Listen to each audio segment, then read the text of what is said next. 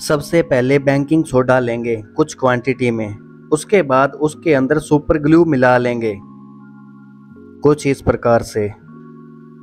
Super glue मिलाने के बाद उसमें सॉलिड हुआ पार्टिकल को उठा लेंगे। अगर उसे तोड़ने की कोशिश करेंगे तो वो नहीं टूटेगा, क्योंकि वो बहुत ही ज़्यादा सॉलिड हो चुका है। कांच के गिलास में पानी लेंगे। उसके बाद उसमें सुपर ग्लू डालेंगे।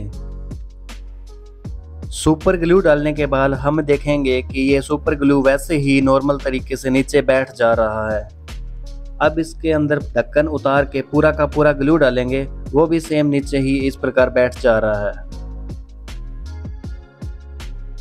लेकिन अभी ये बहुत ज़्यादा सॉफ्ट है। जैसे ही दो मिनट का वेट करेंगे और उसे बाहर निकालेंगे तो ये इंस्टेंट ही बहुत ज़्यादा सॉलिड फॉर्म में आ चुका है। मतलब कि ये बहुत ज़्यादा हार्ड हो चुका है।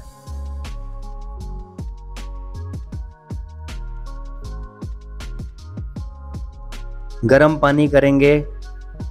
उसी गर्म पानी को एक कांच के गिलास में डालेंगे। पानी के अंदर बोरेक्स को मिलाएँगे और अच्छी तरह मिक्स कर लेंगे।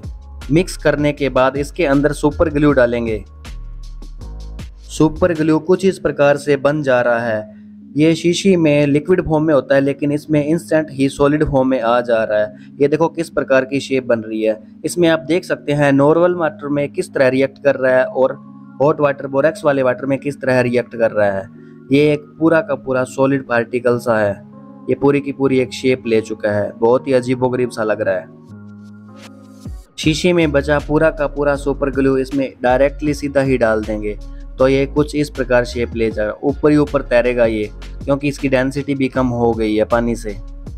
इसलिए ये ऊपर की तरफ़ ही तैर रहा है। एक खास बात और है कि ये इंस्टेंट ही हार्ड हो जा रहा है।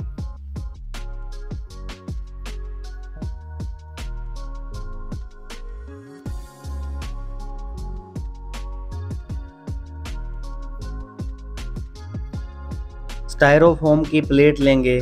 उस प्लेट के अंदर सुपर ग्लू डालेंगे।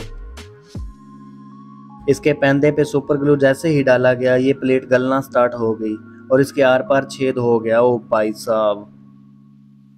अब ऐसे ही 20 प्लेट की लेयर लगाएँगे। अब इन पूरी प्लेटों पे सुपर ग्लू डालेंगे और देखेंगे कि पूरी की पूरी गलती है या नहीं। ये पूरा का पूरा सुपर ग्लू डाला तो जैसे ही डाला गया, ये गलना स्टार्ट हो गई। और भाई साहब, ये नीचे तक पूरी की पूरी गल चुकी है। इनका पैंदा पता ही नहीं कहाँ गायब हो गया। ऐसे ही एक कांच के बर्तन में सुपर ग्लू डालेंगे और स्टायरोफॉर्म की बॉल्स उसके अंदर डालेंगे।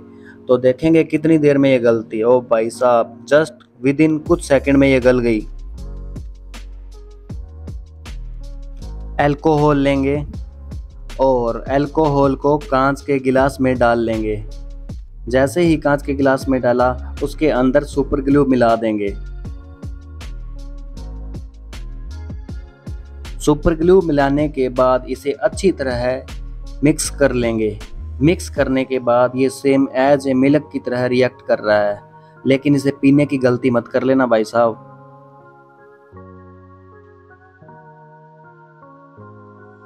एक चम्मच लेंगे।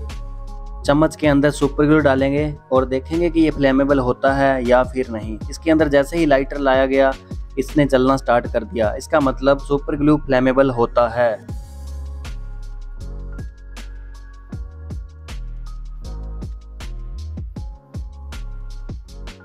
कोलगेट लेंगे। कोलगेट को पूरा का पूरा कांच के गिलास में निकाल लेंगे। जैसे ही कांच के गिलास में पूरी कोलगेट आ गई इसके अंदर सुपर ग्लू मिलाएँगे। सुपर ग्लू पूरा का पूरा इसके अंदर जा चुका है। अब इसे अच्छी तरह चम्मच से मिक्स कर देंगे।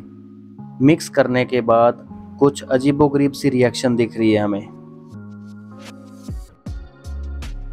ये एक कोलगेट क्रिस्टल की तरह ही नज़र आ रहा है।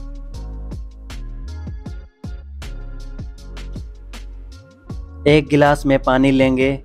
और कुछ बेकिंग सोडा उसके अंदर मिला लेंगे। और अच्छी तरह मिक्स कर देंगे। मिक्स करने के बाद सुपर ग्लू डालेंगे दूसरे गिलास में।